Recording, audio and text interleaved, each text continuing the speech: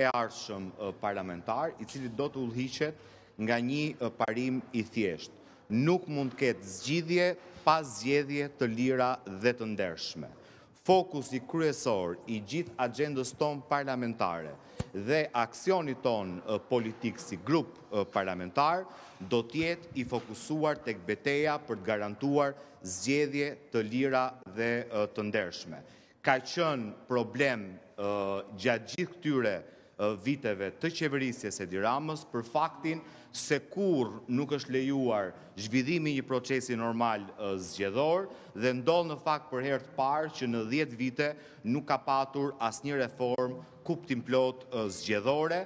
Dua të kujtoj që gjatë qeverisjes Partisë Demokratike çdo kërkesë e opozitës së asaj kohe është shoqëruar me një reformë kuptimplotë zgjedhore. Ne kemi patur një kod të ri zgjedhor në dy mijë e tetë, si kërkesë të opozitës së kohës, kemi patur përmirësime kuptimplotë në ligjin zgjedhor në vitin dy mijë e dymbëdhjetë. Edi Rama ka vendosur që me veprime konkrete të shkallmojë zgjedhjet e lira dhe të ndershme dhe ka bllokuar tashmë prej njëmbëdhjetë vitesh çdo ndryshim apo reformë kuptimplotë zgjedhore. Prandaj dhe e dua ta ripërsëris, motoja kryesore e aksionit tonë politik dhe parlamentar është nuk ka zgjidhje pa garantuar zgjedhje të lira, zgjedhje të lira dhe të ndershme.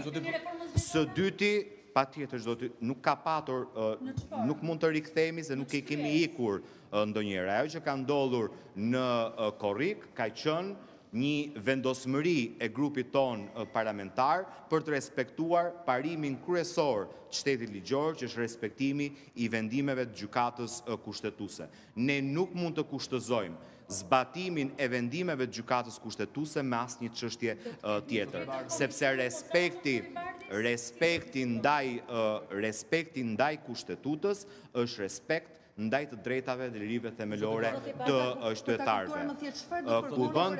Kuvendi i Shqipërisë, siç ju e dini, sepse e ndiqni prej vitesh veprimtarinë e Kuvendit, ka një grup dialogu i cili është funksional që do duhet vijojë dialogun për të përmbyllur në kohë reformën kuptimplotë zgjedhore. Shqipëria ka detyrimin për të respektuar rekomandimet e OSBE ODIR-it. Shqipëria ka detyrimin si vend kandidat për në Bashkimin Europian të garantojë zgjedhjet e lira dhe të ndershme. Shëmtinë e zgjedhjeve Që kemi parë gjatë gjithë kohës së qeverisë Edi Rama, ku diktojnë paratë e pista të korrupsionit, apo ku dikton krimi i organizuar, Shqipëria do duhet ta lërë pas, duke nisur nga garantimi i zgjedhjeve për vitin dy mijë e njëzet e pesë. Ju lutem do ju jap gjithë kohën e mjaftueshme për të bërë pyetje, po do duhet më lejoni t'ju them çfarë kemi diskutuar në grup.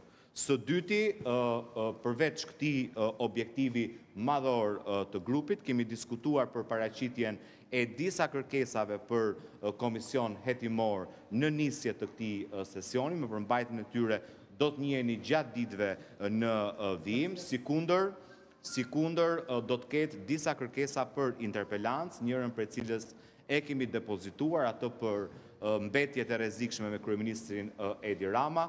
Kolegu Dogjani ka depozituar një kërkesë për situatën, pra për interpelancë me ministrin e Brendshëm sa i takon situatës së rendit dhe sigurisë publike gjatë kësaj periudhe ku ka patur zhvillime dramatike për të cilat do duhet të ketë një raportim në Kuvend dhe mekanizma të tjerë, mekanizma të tjerë kontrolli të cilat do të vihen në zbatim nga grupi jonë parlamentar. Dhe së treti, kemi përcaktuar edhe tre çështjet po themi tematike të interesit të qytetarëve ku do duhet fokusohet puna jonë që ka të bëjë me propozimin tonë për vendosjen e minimumit jetik për ndihmuar shtresat në nevojë, projektligjit për rritjen e pensioneve, është e papranueshme që në gjithë këto vite të mos ketë një reformë reale të pensioneve me qëllim rritjen e pensioneve për një shtresë në nevojë siç është shtresa e